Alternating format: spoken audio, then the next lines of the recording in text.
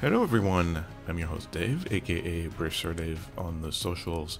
Today we're painting Iron Man from CMON's Marvel United. And I have to say right off the bat, I'm pretty happy with how he turned out. I have wanted to do a candy effect uh, for a while, and he was the perfect candidate for this. Candy paints are glossy, translucent colors. They're used in automotive applications and superhero armor. I also show you how to paint the simple but eye-catching energy blast on the base.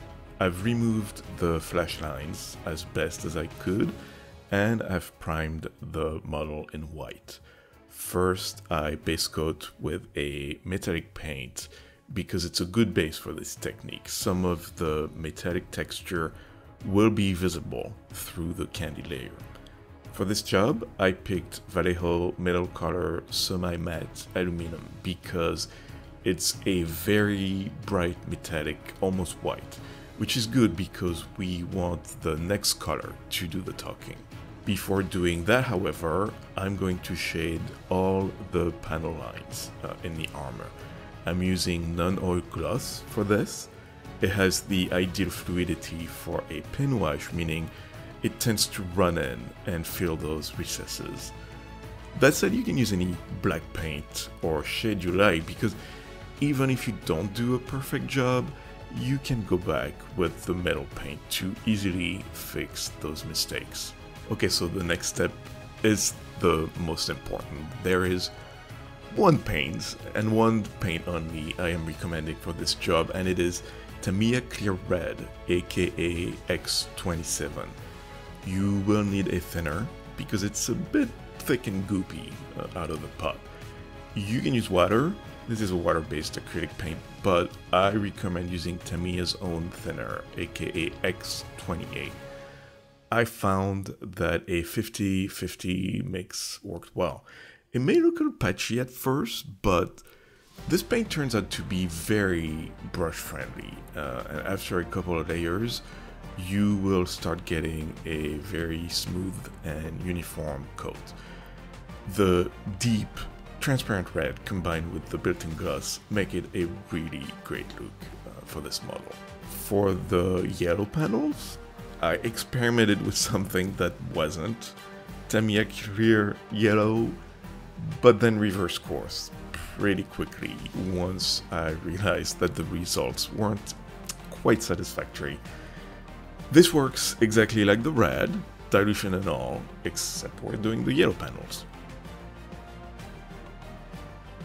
Finally, I've used white for the eyes and to cover the chest and hand energy gizmos, and I'm tinting them with a very thin blue glaze. This makes for really nice contrast uh, with the red and yellow, and we're going to reuse these very colors for the base. This is going to be a job for the airbrush, so I have done some masking. I used some tape and some parafilm. I love this stuff for masking. Remind me to do a video about it sometime.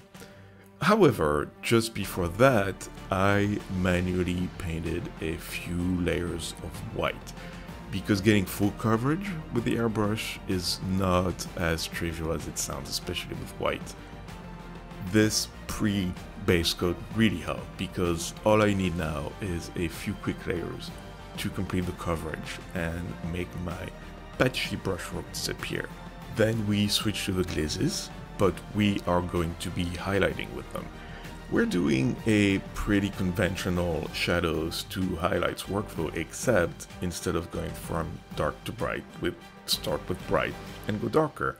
Most of the glazing is done with Warcolours fluorescent blue, a very bright, very saturated color, which is also fairly transparent.